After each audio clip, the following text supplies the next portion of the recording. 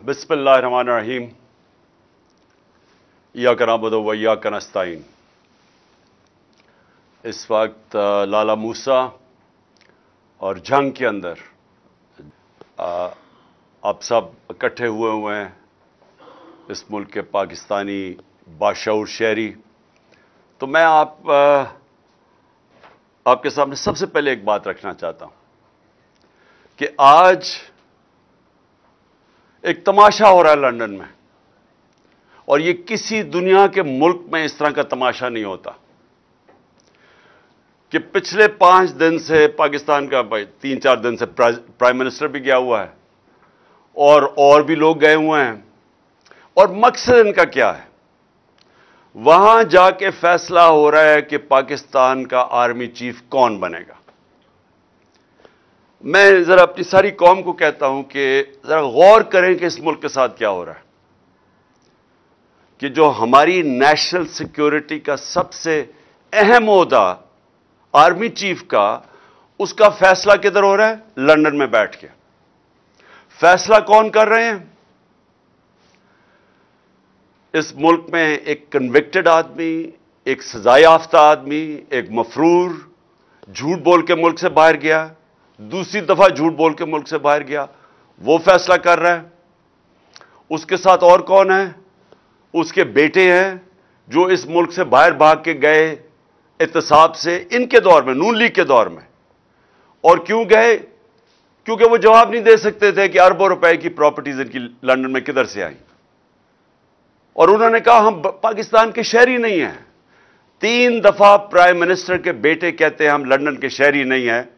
क्योंकि वो जवाब नहीं दे सकते कि अरबों रुपए की वो हसन नवाज़, वो कम से कम दस अरब रुपए की जो प्रॉपर्टी उसने लंदन में ली, वो किधर से आई? साथ है इनकी बेटी, जो पैनमा में इसके नाम पे ये चार बड़े बड़े महलात का इंकशाफ हुआ था, जो सबने हुसैन शरीफ ने कहा कि अल्हम्दुलिल्लाह हमारे हैं, नवाज़ शरीफ ने कहा हमारे हैं, लेकिन ये नहीं बता सकते कि पैसा किधर से आया। तो वो वहाँ बैठे हुए हैं इसाक डार के बेटे वहाँ बैठे हुए हैं, जो कि मुल्क से बाहर भागे हुए हैं। और इसहाक डार भी मुल्क से बाहर भागा था जब तक एनआरओ नहीं दिया और हैंडलर्स ने उसको ये यकीन दहानी नहीं की क्या फ़िक्र ना करें आप आ जाएँ तो आपको कोई नहीं पकड़ेगा। तो ये वो लोग और जिसमें फिर शबाज शरीफ का बेटा बैठा हुआ है, सलमान शबाज जो एहतसाब से भागा हुआ बाहर।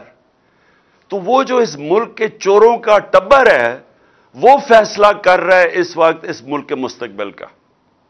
तो मैं ये आपने सारी कौम को ये बताना चाहता हूँ कि ये किसी दुनिया के महजब माशरे में ये तस्वर भी नहीं कोई कर सकता कि ये ये होगा कि मुल्क के अहम फैसले मुल्क के बाहर हों और वो लोग करें जो तीस साल से मुल्क के पास चोरी करके बाहर लेके जा रहे हैं।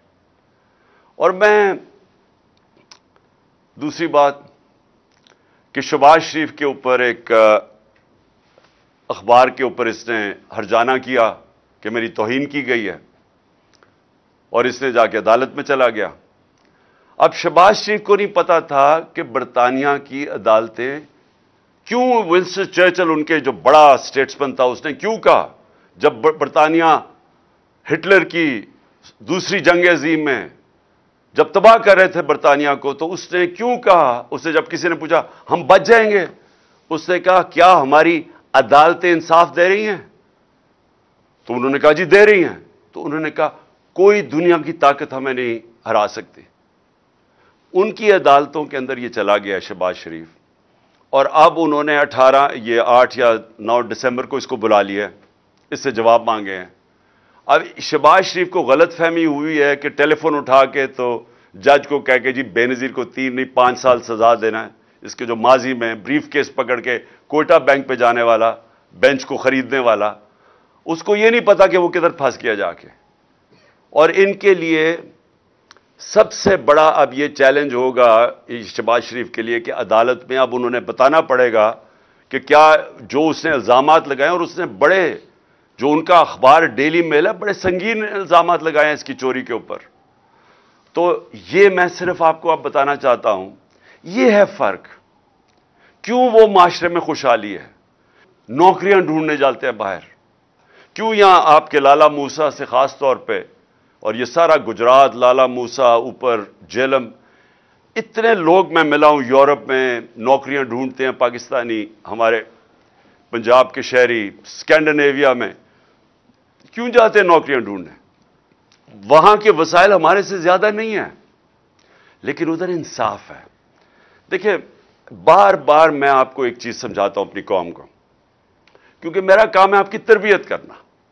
तो जब तक एक मुल्क के अंदर अदल और इंसाफ नहीं है, कानून की हुक्मरानी नहीं है, वो माशरा खुशहाल नहीं हो सकता, वो माशरा आज़ाद नहीं हो सकता।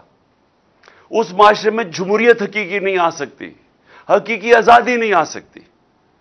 वो माशरे के अंदर जिधर कमज़ोर को ताकतवर से कानून तहफुज नहीं देता, वहाँ जंगल का कानून होता है।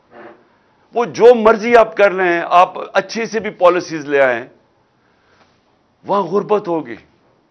सारी जो, जिसको कहते हैं डेवलपिंग वर्ल्ड जो गरीब मुल्क हैं, उन सब की यही कहानी है। तो मैं इसलिए बार बार आपको समझाता हूँ मेरे पाकिस्तानियों, क्योंकि मैंने ये मुल्क देखे हुए हैं। मैंने टाइम गुजारा हुआ है यहाँ। मुझे पता है इसलिए मैंने 26 साल पहले इंसाफ की तहरीक शुरू की थी।